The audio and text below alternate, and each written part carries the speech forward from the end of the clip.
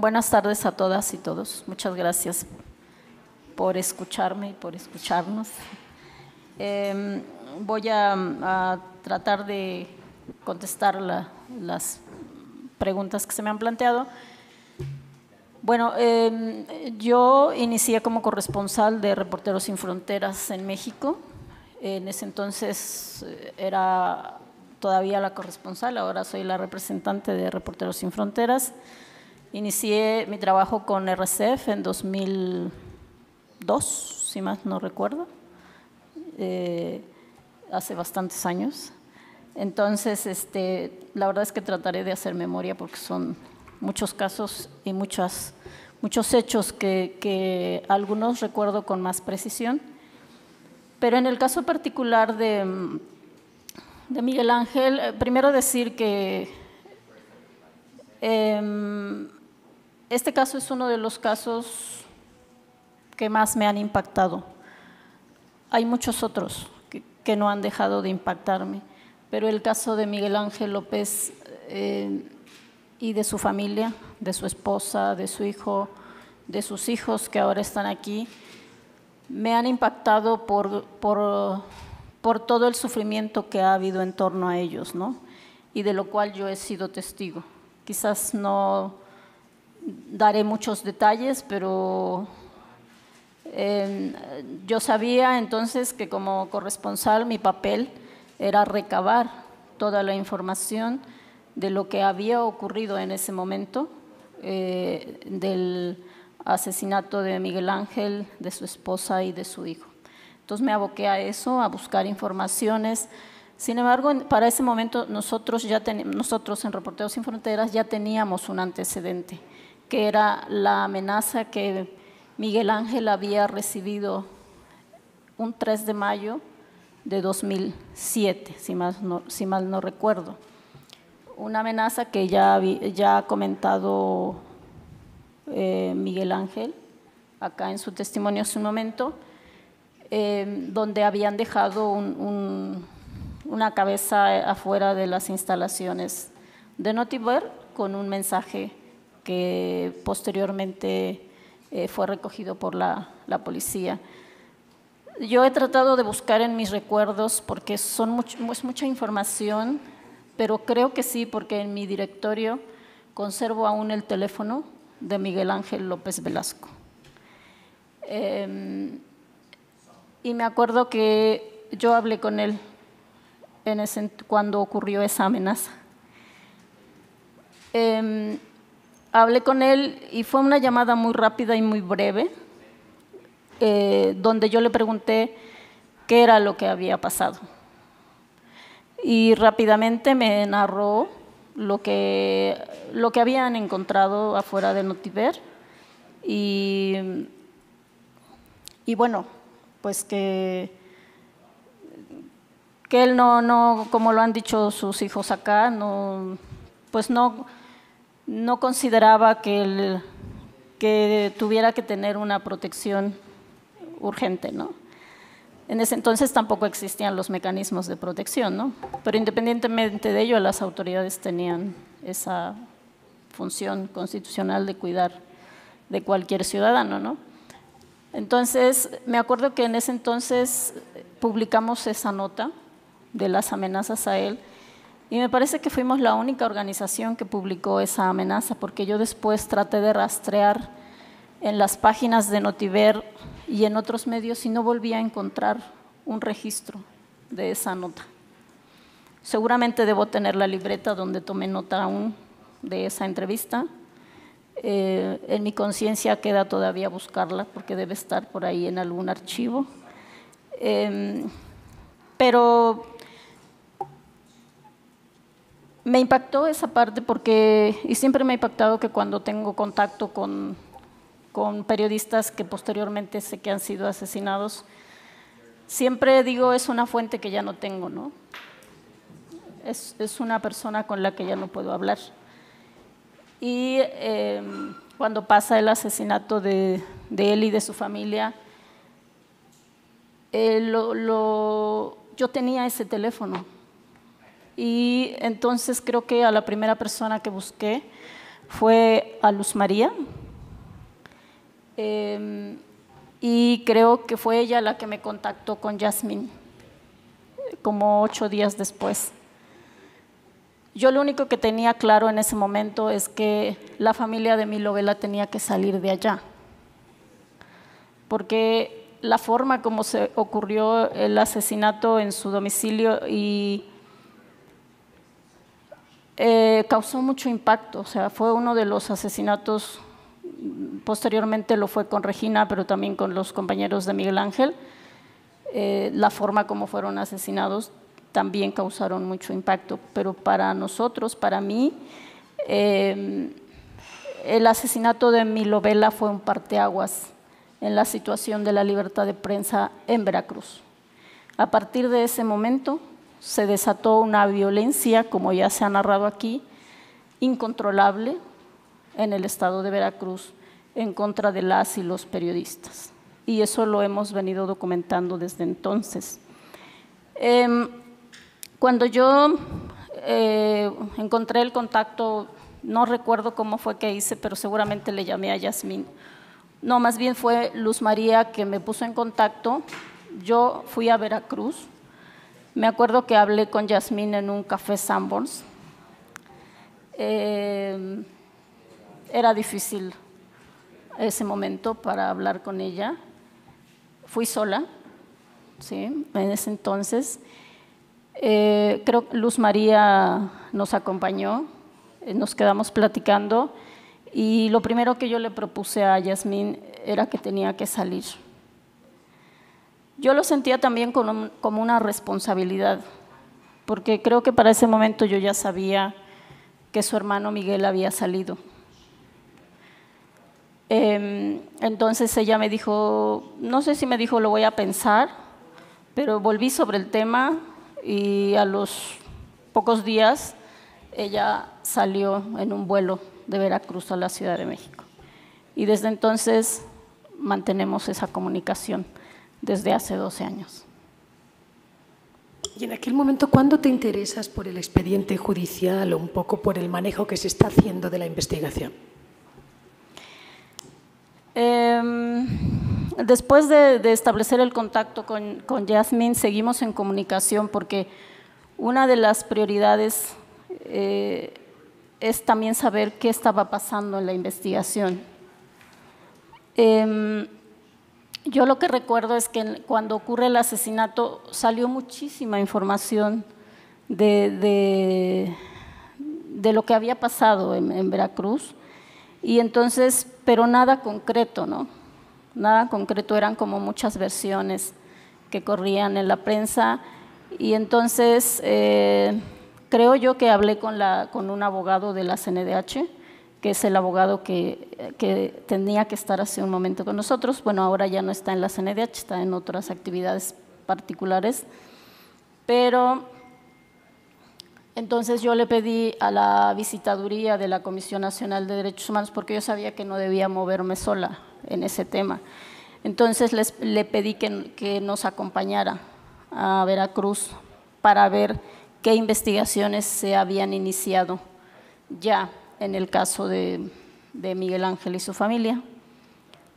Creo yo que fuimos dos veces al puerto de Veracruz porque la investigación se inició en el puerto, se quedó ahí por, por un, mes, porque después se fue al, a Jalapa, pero los primeros días,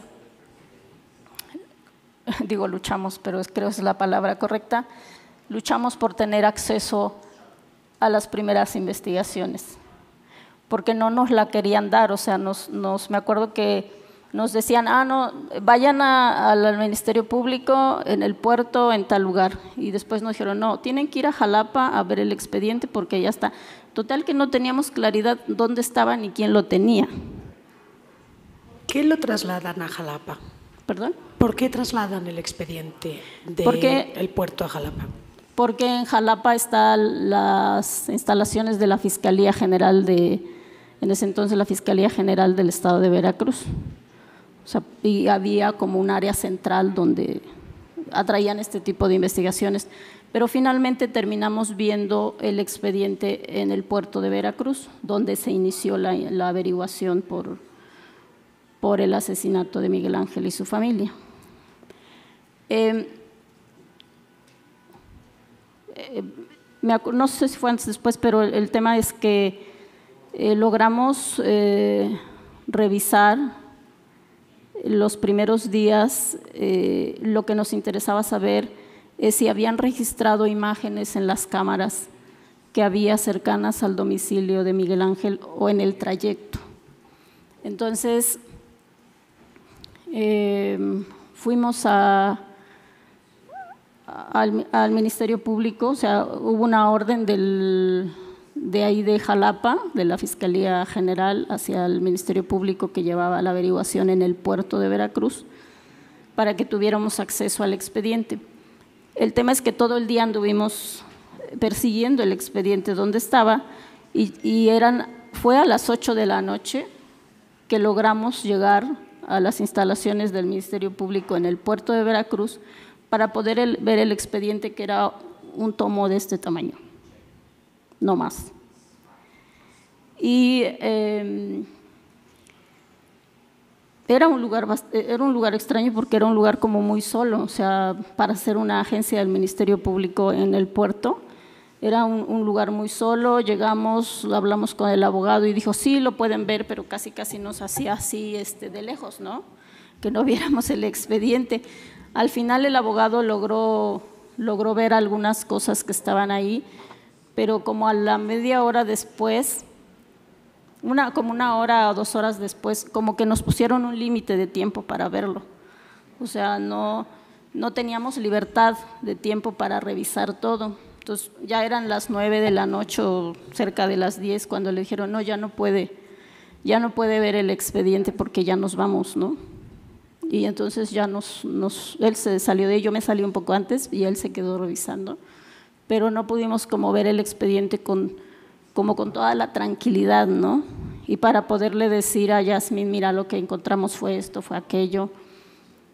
Sí nos percatamos que las imágenes que habían logrado captar las cámaras eh, que iban al domicilio de Miguel Ángel y su familia, no estaban aún en el expediente. Entonces después iniciamos una solicitud, bueno, esto lo hizo la visitaduría de la CNDH para poder tener acceso solo a las imágenes de las cámaras y poder ver lo que habían captado, ¿no?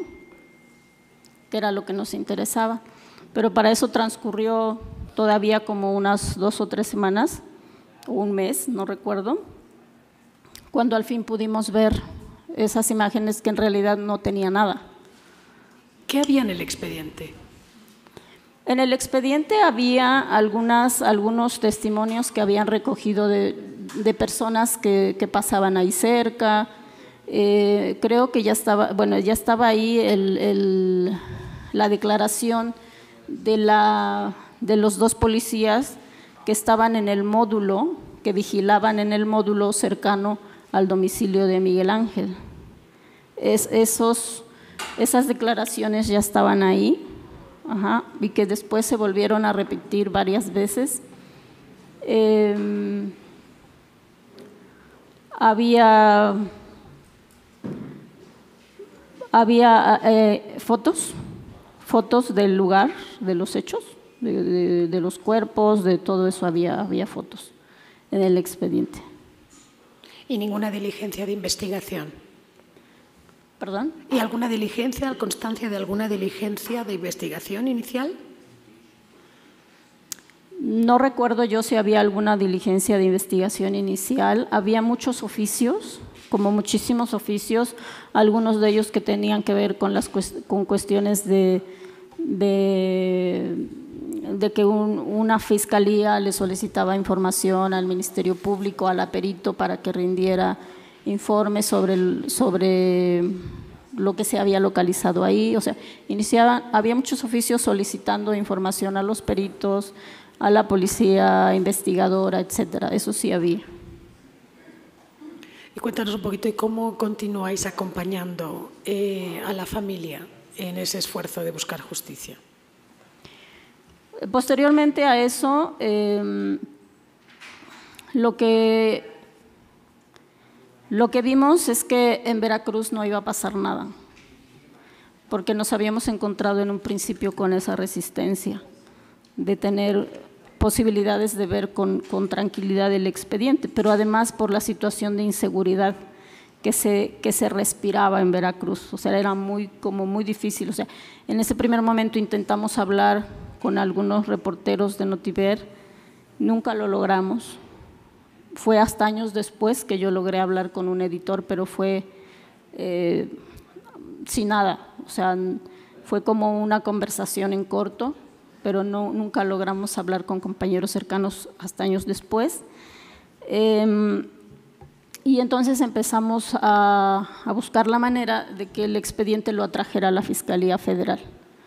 Para esto, para que ese expediente lo atrajera la Fiscalía Federal, o sea, la Fiscalía Especializada de Atención a Delitos Cometidos contra la Libertad de Expresión de la, de la hora FGR, eh, ellos fue hasta el 31 de diciembre de 2013 que esta fiscalía ejerce la atracción, es decir, dos años después.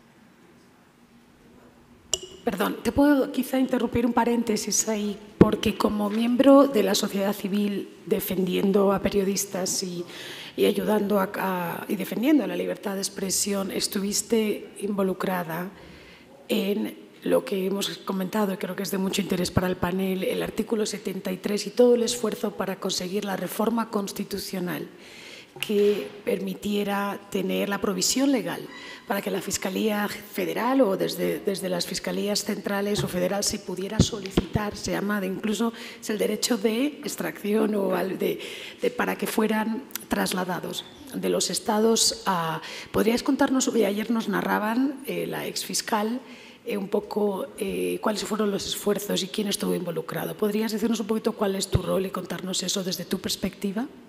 Sí, no recuerdo si fue en ese, en ese año o en esos años ocurrió esta, como no había manera de atraer, de que se atrajeran las investigaciones por la Fiscalía General, se inició todo un proceso de, de análisis, diferentes organizaciones, estuvo Freedom House, estuvo Artículo 19, estuvo Reporteros Sin Fronteras em, y otras organizaciones que ahora no recuerdo, pero básicamente estuvimos nosotros analizando, eh, me acuerdo mucho porque Mike O'Connor, entonces corresponsal de, de CPJ, fue uno de los, de los impulsores más aguerridos de esa, de, esa reforma, ¿no? porque todos teníamos claros claro que para la atracción tenía que haber un marco jurídico que lo sustentara, porque no había como algo en lo que se pudiera sustentar, ¿no? Jurídicamente. Y entonces se impulsó esa, esa iniciativa, se hicieron varios foros de discusión en el Senado, en la Cámara de Diputados, em, y, se hacen varias reuniones internas con las organizaciones en las que se hacen propuestas de, ante el clima eh, que iba cada vez en ascenso de los asesinatos de periodistas, eh, que era importante hacer esa reforma, ¿no? que, pudiese tener la, Fiscalía General eh, herramientas para poder ejercer la atracción de las investigaciones. ¿no?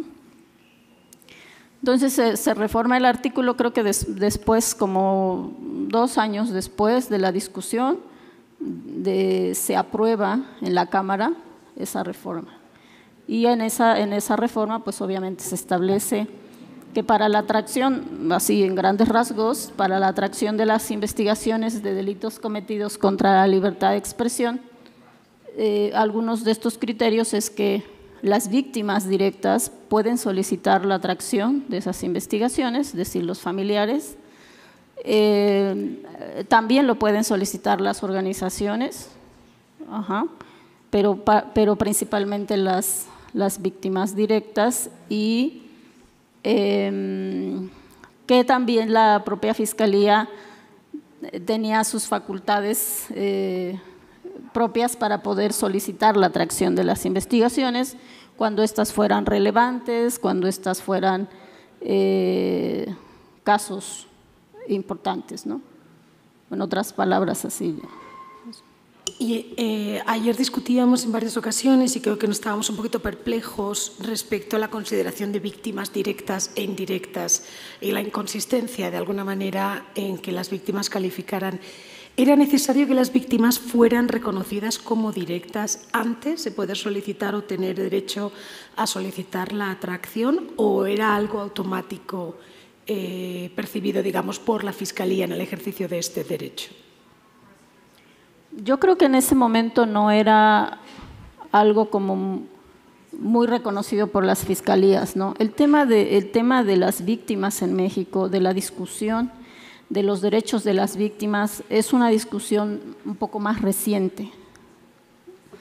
Eh, a partir de toda esta situación de desapariciones en México, de, alrededor de 100 personas desaparecidas, eh, desde hace poco más de cinco años, si mal no recuerdo, se ha iniciado toda una discusión, si es que no poco más, sobre los derechos de las víctimas. E incluso en ese entonces no existía la Comisión Ejecutiva de Atención a Víctimas. Lo que existía era, que por cierto ahora estaba recordando, la actual fiscal eh, de Derechos Humanos de la que depende la Fiscalía Especializada de Atención a Delitos contra la Libertad de Expresión, es ahora la titular de todas estas fiscalías en la, en la FGR.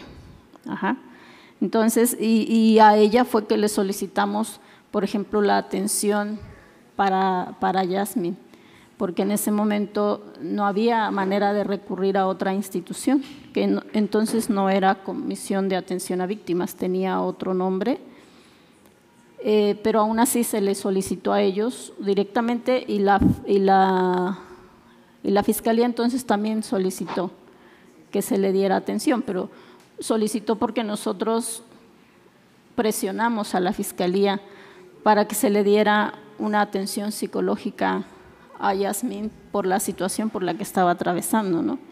Y, sabíamos que era urgente, ¿no? Que, las instituciones se hicieran cargo de esa situación, ¿no? Eh, y obviamente a partir de entonces iniciamos también toda esta lucha de que las instituciones en México se tienen que hacer cargo de las víctimas, de la atención psicológica, de la asesoría jurídica em, y, de, la atención en general. O sea, creo que esa, esa parte ahora está clara. El problema en México no es el marco jurídico en general, sino cómo se aplica ese marco jurídico, ya sea de atención a víctimas o de eh, eh, de cómo se atraen las investigaciones en el caso de los asesinatos de periodistas. ¿Y qué efecto, eh, precisamente en ese sentido, qué efecto tuvo? O sea, que entiendo que se ejerce el derecho de atracción de motu propio, digamos, de ese oficio por parte de la Fiscalía Especial en el caso de Miguel Ángel López. ¿Qué efecto inmediato tuvo esa atracción? Em, lo que recuerdo es que no fue tan rápido porque lo de Miguel Ángel ocurrió en 2011 y la atracción formal se da en 2013, o sea, dos años después. Em, no recuerdo si entonces ya habían ocurrido los asesinatos de los, de los compañeros de Miguel Ángel en Notiver, creo que ya habían, ya habían ocurrido. Entonces había sido como, como una presión muy fuerte sobre la fiscalía, ¿no? Y, nosotros intentamos, enviamos varias veces, cuando hablo de nosotros me refiero a Reporteros Sin Fronteras, pero obviamente eh, trabajando para, para la organización, presionamos a la fiscalía para que atrajera esa investigación me acuerdo, creo que la fiscalía nos decía, no, es que tenemos que esperar que la fiscalía de Veracruz nos envíe el expediente. Bueno, es que este es el discurso de siempre, ¿no? Eh, porque nosotros ya lo solicitamos, pero ellos no nos lo quieren enviar, un poco lo que decía la fiscal ayer, ¿no? Este, y entonces nosotros estábamos en medio, o sea, nosotros, la, la familia de Miguel Ángel y nosotros como organización, presionando por un lado pero en realidad no, no tenía ninguna efectividad. Finalmente em, deciden atraer, eh, creo que lo pedimos directamente porque Yasmin vino, o estando aquí fuimos como en dos o tres ocasiones a la FEADLE. Directamente nos reunimos con el entonces eh, fiscal y le, y le pedimos que que atrajera esa investigación ¿no? y que garantizara la seguridad de la familia de, de Miguel Ángel y así fue como la Fiscalía solicitó medidas de protección para, para Yasmín y para su tía. Entonces, durante varios años eh, eh, tuvieron escoltas, si más no recuerdo, y tuvieron cámaras de seguridad, que hasta hace poco nos enteramos que el mecanismo de protección concluyó esas medidas en 2019, pero, pero a la familia de Yasmín no le, no le notificaron esa información. Y después, decir, eh, un poco por entender el impacto, si cuando se entrega, de hecho, el expediente o cuando esa atracción se produce, eh, se acelera la investigación. ¿Qué ocurre entonces a nivel federal? Porque entendamos un poco el devenir de, esa investigación. Lo que ocurre es que oficios van y vienen, ¿no? La Fiscalía Federal empieza a solicitar a la Fiscalía de Veracruz que le envíe el expediente y después que el expediente no venía completo y después entonces hay otros dos o tres oficios el primer oficio solicitando la información, el segundo oficio recordando que no han enviado la información y el tercer oficio diciendo que la información no ha llegado. Es decir, de lo que nos dimos cuenta, como lo hemos visto en muchos otros expedientes, es que es la burocracia, la burocracia administrativa eh, que hace que se obstruya también la justicia. Es decir, los oficios van y vienen. lo que nosotros, lo que yo podría decir en conclusión en ese tema es que em, a lo que nos enfrentamos fue a la burocracia, pero también a la inacción de las autoridades. Es decir, se limitaron a enviar y a recibir oficios, pero no hicieron más. O sea, yo no recuerdo haber visto que hubiesen ido directamente a levantar alguna, alguna o a realizar alguna diligencia directamente. Lo que sí recuerdo es que cuando ocurren los hechos del asesinato, hay, hay un ministerio público federal que levanta un acta circunstanciada, pero la deja así, después la cierran, porque quien porque desde luego quien, quien continúa la investigación o quien hace la investigación local pues es la Fiscalía de Veracruz, no la Fiscalía Federal. Entonces ellos nada más iniciaron un, acta circunstanciada de los hechos que ocurrieron ahí, pero no, no, no la continúan, no la mandan a la Fiscalía Federal. Yo, yo dije, bueno, pues para qué levantaron un acta circunstanciada de los hechos si ni siquiera le dieron seguimiento a eso, ¿no? Entonces dejan totalmente en manos de la, de la Fiscalía de Veracruz la investigación y no se ocupan de ella. Ayer eh, Albina nos narraba la representante de la Fiscalía Especial entre el 2012, creo que fue la primera representante entre el 2012 y el 2015, que se trasladaban a Veracruz y a otras localidades del país haciendo esfuerzos de investigación. Es, en este y en otros casos, ¿eso es así? Bueno, ya lo dijo ayer, pero yo no estoy tan segura de eso. O sea, sé que en algunos casos, porque ella además se refirió a un caso muy específico, que era un caso en Tuxpan, ¿no? Eh, pero para entonces en Veracruz ya había eh, varios periodistas que habían sido asesinados. O sea, yo no recuerdo, y, y creo que ahí Yasmín en eso coincidimos, yo no recuerdo que hayan enviado ellos o que me hayan informado que en las conversaciones que tuvimos con Yasmín que algún ministerio público haya ido directamente a hacer diligencias sobre el caso, o sea, no, no, no lo, no, no recuerdo, no, no estoy tan segura que lo hicieron.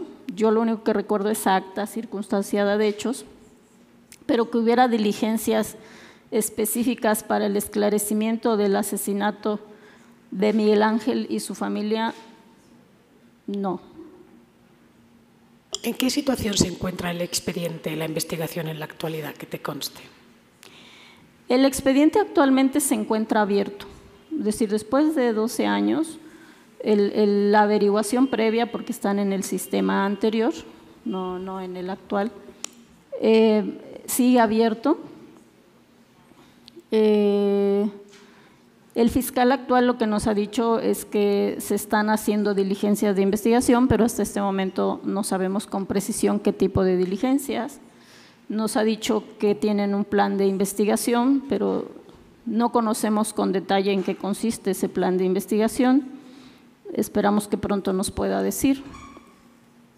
Pero lo único que sabemos en este momento es que esa investigación a 12 años sigue abierta y sigue abierta por una simple y sencilla razón, porque no hemos dejado eh, que ese expediente se pierda, porque sabemos que ha pasado en muchos otros casos que los expedientes se van al archivo.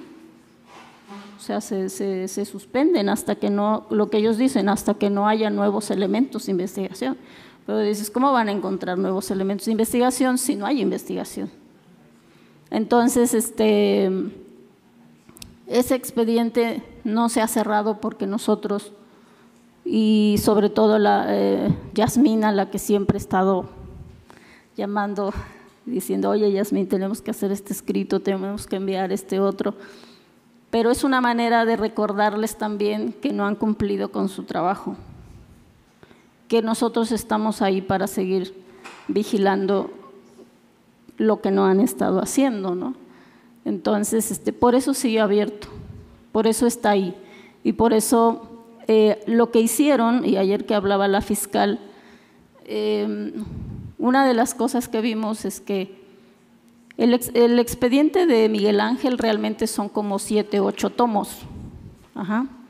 Pero en el tiempo que estuvo Laura Borbolla, que es la fiscal, exfiscal, eh, tuvo la ocurrencia de hacer la acumulación de todos los expedientes, del de Miguel Ángel, Yolanda, Gabriel, Esteban. Eh, entonces todos se acumularon y en lugar de que fuera ocho tomos, eran 20. O sea, entonces dices, bueno, ¿cuándo vas a revisar 20 tomos? Cuando son eh, cuatro casos diferentes, ¿no? Y entonces este, empezamos a ver por qué había, cuál era el argumento para solicitar que todos se acumularan. ¿Cuál, ¿Cuál había sido como jurídicamente la explicación que ellos daban para que se acumularan todos esos expedientes? No la encontramos con claridad. O sea, simplemente un día el Ministerio Público que estaba a cargo de la investigación le propuso a la fiscal que había que acumularlos todos porque la razón era esta, más o menos. Todos los periodistas son del mismo medio, o sea, todos eran de Notiver. Eh, pero además en todos estaba involucrado el crimen organizado. Pero jurídicamente no encontramos una explicación. Y entonces pues nos quedamos así como que, bueno, o sea, eso también lo sabemos nosotros, ¿no? pero jurídicamente no teníamos una claridad. Y entonces lo que hicimos, dijimos, bueno, pues entonces hay que solicitarle a la Fiscalía, que es lo que hemos hecho hace unos meses, es que separe ese expediente. Que si bien todos eh, eh, son periodistas, son del mismo medio, los hechos ocurrieron en, momentos distintos. Y además, eh, en ninguno de estos casos incluyendo los otros casos de, los periodistas de Notiver, se ha tomado en cuenta su labor periodística. Y eso es una de las cosas que detectamos también en el caso de Miguel Ángel. O sea, ni la Fiscalía del Estado de Veracruz, ni la Fiscalía General han tomado en cuenta hasta este momento el trabajo periodístico de Miguel Ángel, que estaba investigando, que estaba escribiendo, que lo único que encontramos ahí, y eso porque alguna vez lo ofrecimos eh, con, con, la autorización de Yasmín, fue las notas periodísticas de Miguel Ángel. Pero no hay ningún otro, no hay ningún otro peritaje, no hay ninguna otra investigación, no hay un análisis de contexto, de, la labor periodística de Miguel Ángel. Y lo mismo pasa con los otros casos de los periodistas de Notiver. ¿Cuántos, em, ¿Cuántos casos como representante de, Reporteros Sin Fronteras has llevado o llevas o has llevado, sigues llevando eh, por el asesinato de periodistas, más o menos? bueno, no, no tengo el dato tan preciso porque son muchos, pero, o sea, si hay 150 periodistas asesinados, en, más de 150 periodistas asesinados en México, yo creo que durante todos estos años, si logro recordar que hay unos 50, porque por ejemplo, con todos mantengo, con, con, todos estos familiares más o menos mantengo una comunicación, o sea, así como la he mantenido con Yasmín o sea, y son periodistas desaparecidos, asesinados, pero yo creo que son alrededor de 50 y a veces prefiero no recordar la cifra porque son tantos y es tan agobiante cada caso. En un principio, me acuerdo que yo me sabía los nombres de memoria de todos los periodistas asesinados, pero cuando llegaron al número 80, los em-, empecé a no contar, porque dije, yo no puedo seguir contando números. O sea, yo no puedo guardar cifras tan así, ¿no? Entonces, cada vez que hay un asesinato me cuesta sumar. O sea, me cuesta sumar porque no son números, son personas. Y no solo son periodistas, son sus familias. Entonces, si decimos, bueno, hay 150 periodistas, bueno, ¿cuántas familias hay detrás? Entonces, yo creo que hay alrededor de 50 entre desaparecidos, asesinados, desplazados, este, porque esa es otra situación que creo que no se mencionó aquí. Uno de los grandes impactos del asesinato de Miguel Ángel y de otros periodistas en Veracruz fue el desplazamiento forzado. Muchos periodistas empezaron a salir de Veracruz y a refugiarse aquí en la Ciudad de México, pero también otros salieron del país. De hecho, hasta la fecha hay un periodista que sigue exiliado en Europa. Entonces, eh, pues sí, son, son, son muchos casos, ¿no? Son muchos. Y la verdad es que hacemos un esfuerzo enorme por seguir aquellos donde es posible eh, hacer un trabajo más, más cercano a las familias, porque lo que sí tenemos claro es que nosotros sin las familias no podemos hacer nada. O sea, si ellos no nos autorizan, si ellos no están de acuerdo, si ellos incluso no quieren hablar, nosotros no vamos a hacerlo.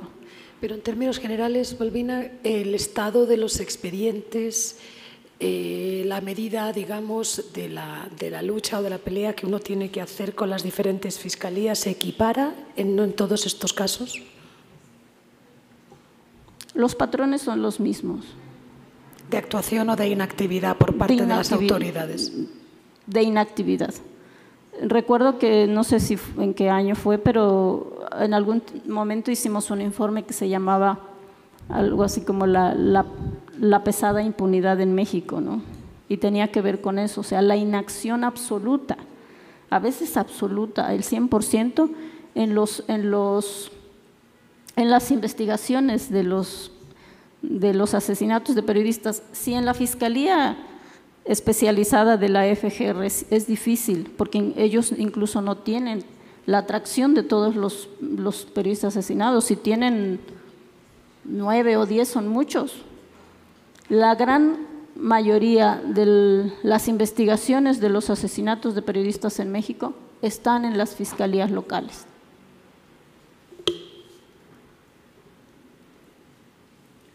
Eh, y ahora creo que te voy a pedir un poco que quizá, por tu experiencia y por haberte expuesto a todo esto, un poquito que nos dieras una opinión. Eh, hemos hablado de impunidad a lo largo de los días. La impunidad puede venir por inacción y la puede venir por, obviamente, negación de acceso a la justicia. Pero hay, hay otro tipo de impunidad que creo que también preocupa al panel de jueces, si puedo hablar en su nombre, y a mí, sin lugar a dudas, que es la del exceso es decir, la de crear instituciones sobre eh, burocratizar la acción y el acceso de las víctimas, crear ayer describía, eh, describían el mecanismo de, protección y hablaban de cinco agencias gubernamentales involucradas en la toma de decisión, solo en el análisis de si estas medidas de protección son o no de aplicación.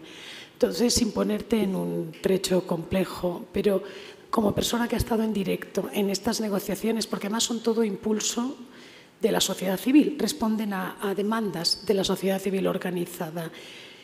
¿Qué opinas y en qué punto eh, están eh, la confianza, la, posible efectividad o la valía de estas instituciones? Bueno, sí, México es uno de los países que tiene más instituciones de protección y defensa de periodistas. Creo que eso lo ha difundido muy bien el gobierno, ¿no? o los gobiernos, incluyendo el actual. Pero el problema es que parece ser que entre más instituciones, más ineptitud.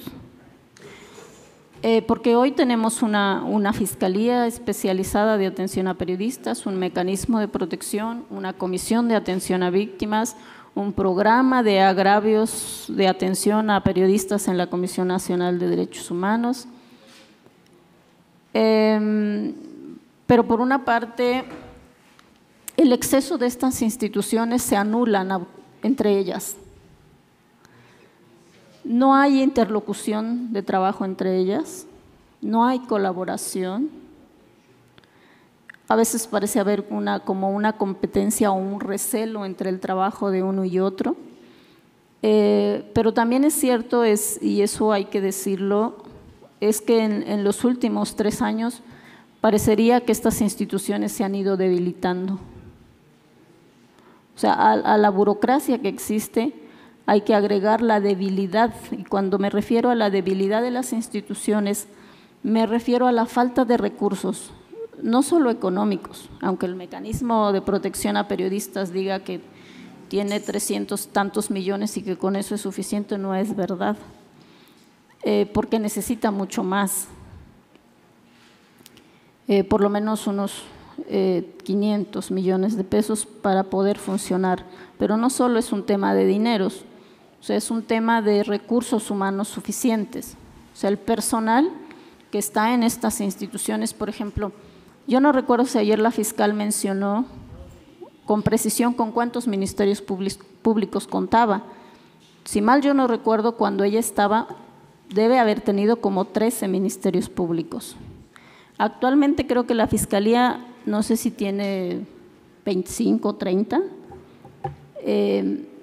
pero también carece de una policía especializada de investigación. O sea, la Fiscalía, eh, la FEADLE se tiene que apoyar en, la policía de investigación que está en la, en la Fiscalía General, pero no, no, no tiene un cuerpo especializado para la investigación en asesinatos cometidos contra la libertad de expresión, ¿no? Como tampoco tiene peritos específicos, tiene que basarse en otras áreas dentro de la Fiscalía. ¿no? Y, por ejemplo, la Comisión de Atención a Víctimas también carece de personal suficientemente capacitado que pueda eh, realmente atender a las víctimas. Entonces, hay una carencia de recursos económicos y humanos, pero también hay una carencia de especialización. No la hay. O sea, el Ministerio Público nuevo que llegue tiene que aprender. El, personal nuevo que llega al mecanismo de protección tiene que aprender. Y, eso es parte de la impunidad.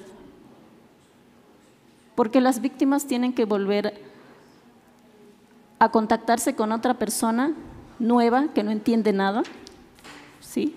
pero que tampoco le importa. Porque también es cierto que en las instituciones hay mucha insensibilidad, sobre todo en, la, las de víctimas. Hay mucha insensibilidad. Yo estaba escuchando, creo que hace poco la, la, Fiscalía nos decía que tenían psicólogos especializados, en, por ejemplo, porque ha habido muchos periodistas recientemente que han sido asesinados frente, de sus, a, frente a sus hijos menores, ¿no? Entonces nos decía el fiscal, que ahora tenían eh, psicólogos especializados en atención a niños. ¿no? Y eso es muy importante porque estos niños en algún momento tienen que declarar y tienen que ser atendidos, pero no solo los niños, todas las víctimas que hay y que tienen que declarar tienen que tener una atención especializada, ¿no? Y no siempre las instituciones cuentan con eso. Entonces, ah, eh, tenemos un tema que es burocracia, eh, que es falta de recursos económicos, falta de recursos humanos, falta de capacitación, eh, falta de personal especializado. Gracias, Balbina. Yo no tengo más preguntas. No sé si el panel tiene alguna consulta. Muchas gracias.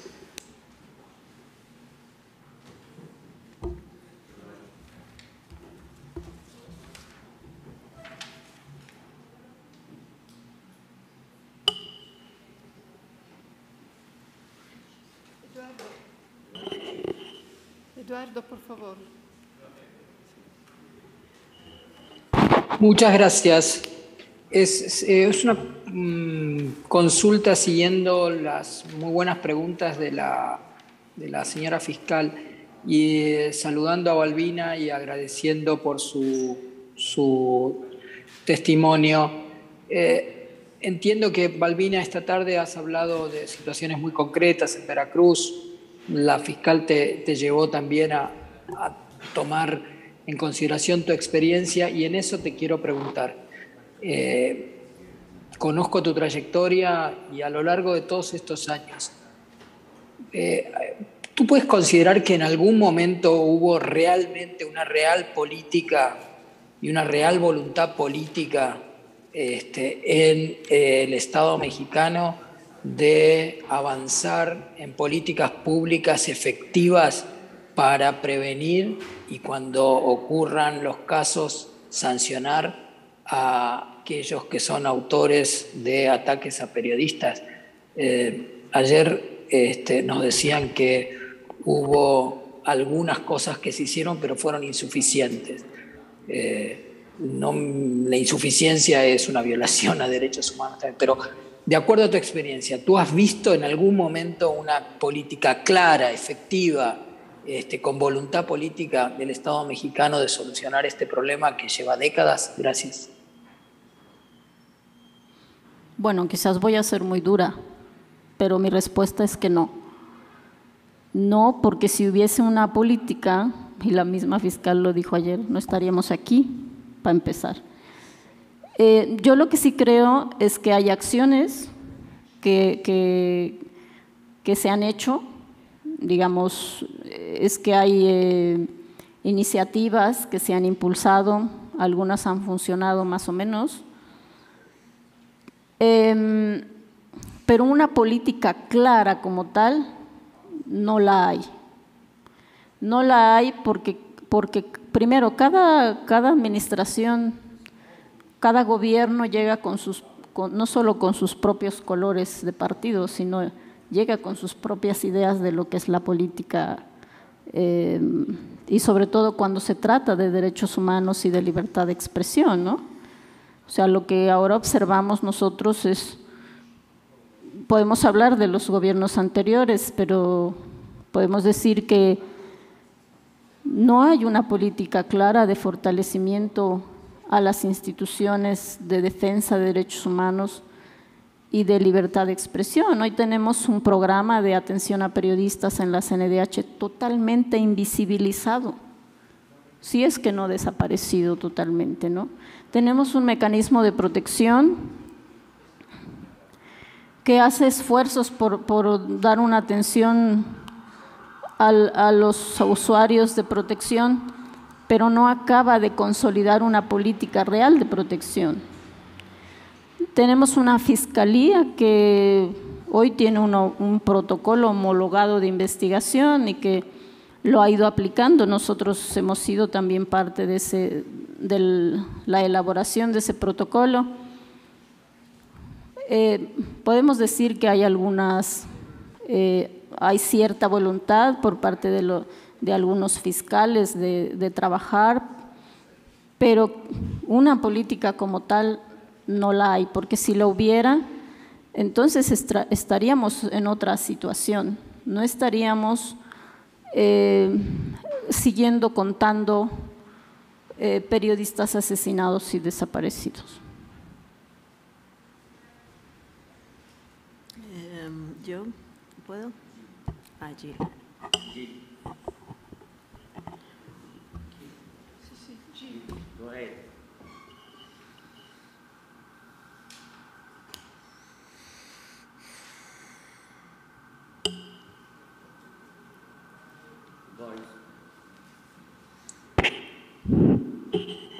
Gil, can you hear? Need Maria Rosa Okay. has uh, her hand up. Si no, ahí está. No, se me hace que entonces. Will you acá- go first? Okay? Go ahead. My question is, uh, office, mm, the power to investigate or not to investigate, and which are the mechanisms of accountability, uh, where, to whom the prosecutor is to report the results of the investigation. Voy a traducir, si creo que, eh, creo que lo entiendo. Están hablando de quién tiene el poder de investigar, si realmente la Fiscalía tiene, quién en la Fiscalía y si la Fiscalía tiene el poder de investigar. Ah, y a- exactamente. ¿Y a quién deben dar explicaciones cuando estás ante situaciones en las que una fiscalía investiga o no investiga? Es decir, ¿quién es en última instancia responsable? Bueno, si se trata de una fiscalía, quien tendría que rendirnos cuentas, primero es el fiscal general de la República. Eh, Y en segundo lugar, en ese nivel es eh, la Secretaría de Gobierno del Ministerio del Interior. Eh, tendría que ser el- el- Congreso y el presidente de la República, porque la principal responsabilidad es del Ejecutivo Federal. Es la responsabilidad de todos los gobiernos, de to- México es una federación que cada estado tiene su, gobernador, tiene su, su fiscalía, su, eh, sus investigadores, todos deben rendir cuentas y a todos deberíamos pedirles cuentas.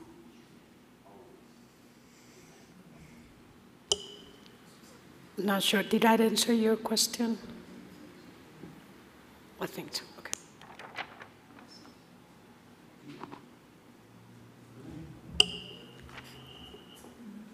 Yes. Another Jude, go. question. Yes. Um, Out of the 150 journalists who have been killed, can you uh, give us a figure on convictions um, in, in those cases? And, and, and are you aware of the facts uh, and how, how they happen to be convicted? En- de todos los casos que has, eh, más o menos que se han, bueno, más o menos no, que se han mencionado más de 150 casos en México de asesinatos de periodistas, ¿cuántas condenas ha habido? Eh, si se sabe, es decir, más o menos cuántas condenas En- ha habido. And, and why were they convicted? How did that happen? ¿Y cómo es que fueron condenados? Es decir, ¿cómo se llega a ese punto de que se les condene? Bueno, no sé si voy a dar una cifra exacta, pero lo que sí puedo decir es que voy a manejar los datos de la, de la propia Fiscalía, eh, de la Fiscalía Especializada de Atención a Delitos contra la Libertad de Expresión, porque no tenemos un registro exacto por ejemplo, de las sentencias que se han dado en las fiscalías locales. En asesinatos de periodistas en particular. Que yo recuerde, de la última cifra que chequé en, el, en el registro de la FEADLE, me parece que eran tres o cuatro sentencias, solo por homicidios. En el caso de periodistas desaparecidos no hay ninguna. Y de los que yo recuerdo en las fiscalías locales, en general, debe haber unas 12. 12. Entonces, 12 más 3, bueno, ahí está la cifra. Es un porcentaje difícil de entender. Pero esos son los datos que están ahí. Eh, obviamente ha habido sentencias en otro tipo de, de ataques a periodistas, pero en el caso de los asesinatos son estos datos los que hay. No hay más, pero sí queremos que haya más. Ah, tú, tú, y luego tú. Sí, concretamente, después de 11 años, casi no ha pasado nada, pero usted dijo que el expediente o la investigación queda abierta. ¿Qué quiere decir eso? ¿Hay actos concretos? ¿Hay manera de vigilar esos actos? Eh, ¿Los abogados pueden presionar para que avance realmente el proceso? ¿O es que el expediente está eh, en, un, cajero sin, ninguna investigación? Eh, sí, la carpeta de investigación está abierta.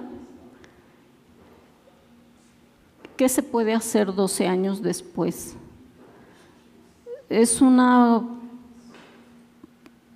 gran pregunta que no sé si podré contestar porque son muchas cosas.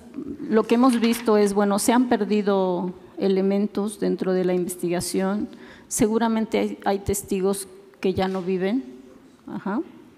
además de aquellos que por temor nunca quisieron declarar. O sea, incluso hay periodistas Ustedes sabrán, hay tres periodistas, compañeros de mi novela, que no están aquí ahora y que enviaron sus testimonios por escrito. Y eso tiene una explicación. El miedo, como no sé si lo decía Félix, el miedo en Veracruz continúa. La, autocensura de las y los periodistas para poder seguir haciendo su trabajo continúa. Eso no ha desaparecido.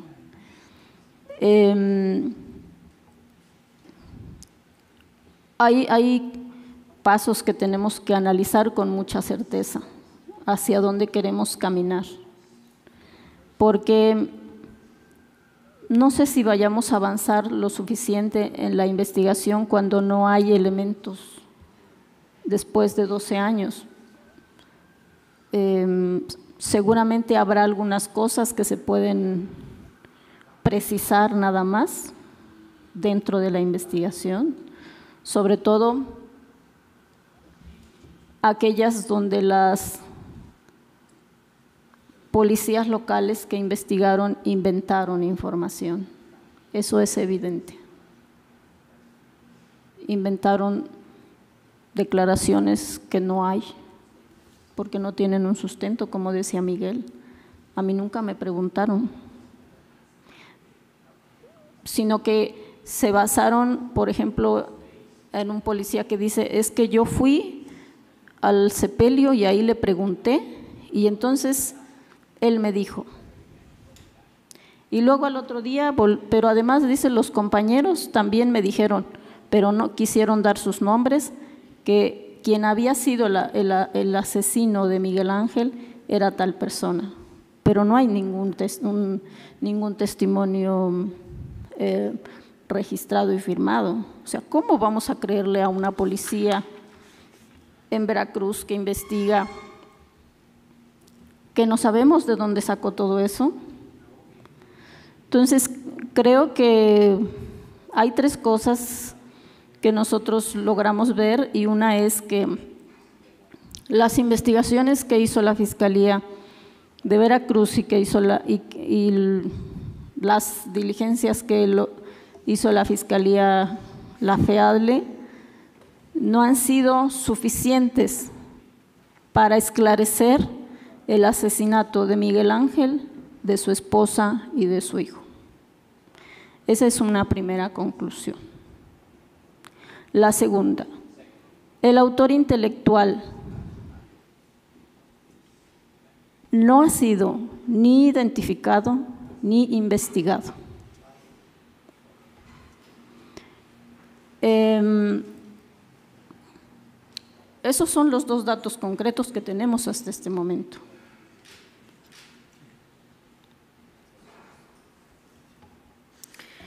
Em, gracias. Yo te quería preguntar y desde que escuchaba a Yasmín eh, y a Miguel, me preguntaba, o sea, ¿qué podría ser reparador para las familias? Si hay algo que podría ser reparador, ¿qué se, qué se requeriría? Y la otra es, este año, o sea, ¿cuál, es, tu, cuál es el panorama que es en la libertad de prensa en México? Eh, pensando en bueno, en cómo estamos ahora, cuál, cuál, cuál es el panorama que... Sí. No sé si comparando con el pasado se dice mucho si estamos, si en 2012 fueron los peores años, si es ahora, pero cuál es,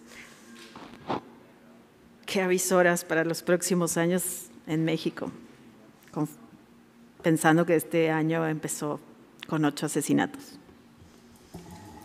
Bueno, mi respuesta a la primera pregunta, ¿qué puede ser reparador?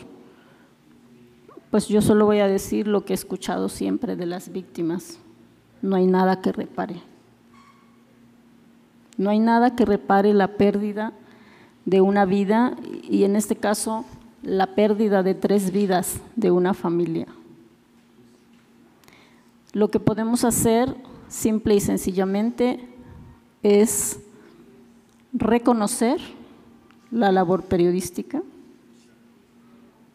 em, apoyar a las familias, a sus familias, acompañarles, es lo que podemos hacer. Pero la pérdida de una vida, como muchos de ellos lo dicen, no se puede reparar. O sea, y si pensamos desde esta perspectiva, creo que podemos hacer este reconocimiento. Yo alguna vez le pregunté a Yasmín, y creo que desde un inicio, ¿cómo podemos reconocer eh, la labor de tu papá? Es, es, una pregunta muy difícil de hacer para, nos, para nosotros. O sea, yo he escuchado otros juicios que ha hecho la Fiscalía y les juro, bueno, seguí el juicio de, de Miroslava Bridge, seguí el juicio de Javier Valdés. Y cuando entrábamos en ese punto de las reparaciones, para mí siempre fue difícil escuchar la pregunta, ¿cómo quieres que se repare? Y siempre será difícil. O sea, esa parte no está trabajada en, las comisiones de víctimas y no tanto y tampoco en las fiscalías, porque cuando se habla de reparación se habla de números, se habla de dinero. Creo que tenemos que pensar en otro tipo de reparaciones.